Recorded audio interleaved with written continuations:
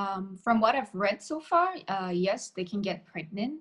Uh, but uh, I guess as with any medical condition, you require closer monitoring. And of course, with, with common sense, you, you, you don't try to get pregnant when you're at the peak of your seizure um, uh, experience and everything. Um, yeah, so I'd say this you have to discuss and work closely with your doctor because each of our bodies are different. And uh, especially if you have other medical conditions as well, uh, this is important. Um, yeah, but uh, pregnancy, uh, epilepsy can cause preterm labor, labor, premature birth, and fetal injury. So work with your doctor on this closely.